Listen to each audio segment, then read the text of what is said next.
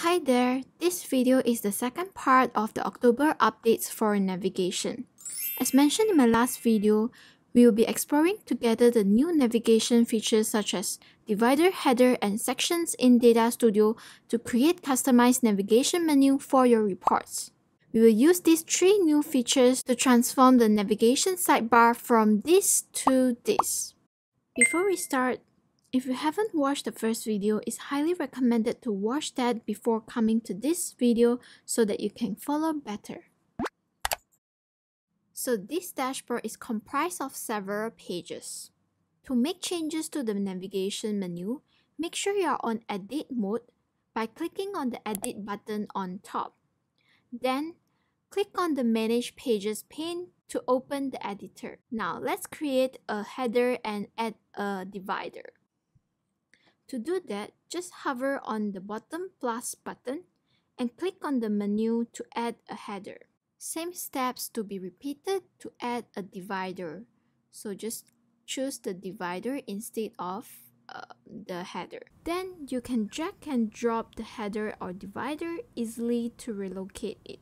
We can also rename the header by double clicking on the text if you still remember last week lesson. Now let's turn to view mode to see how it looks like. I feel like the UI design for header still needs a bit of work here as it looks very tiny here. For the divider is to divide your pages list into sectional, so it's just a single line. We actually can achieve the same thing with sections. In this navigation menu that I created with just sections, we can expand and collapse the menu easily. This definitely offers a better user web app experience for report viewers. Now let's start to create a single nested section. Similarly, hover on the plus button and hit section to add a section. Just an extra note, you will notice that the color for section is different from page. Let's rename the section now and then move the related pages into the section. So once you finish with the renaming, we can drag and drop the page into the section. Same for this page. So now we can see that both pages are inside this section. I'm going to switch to view mode to see how it looks like. So it seems fine, but we need to add one more icon to the section. Select icon and choose trending up. Let's switch to view mode. Okay, it looks great, but the remaining pages icon has been added automatically and set to the default. Now let's move on to the double nested navigation. To do that, you need to create a section. Then rename the section and move all the related pages into it. Then we're going to create another section and move it into the main section. So this will be the subsection.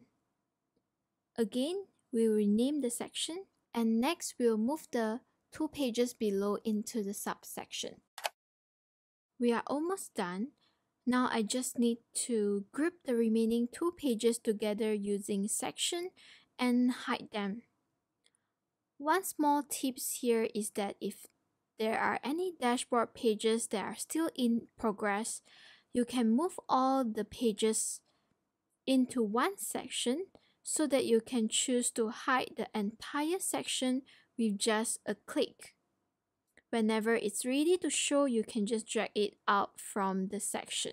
If you remember earlier when we add icon for a section, Data Studio would add a default icon to each page and section, which doesn't look very nice.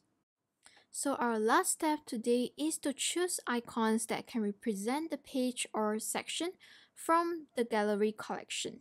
So here is our result today.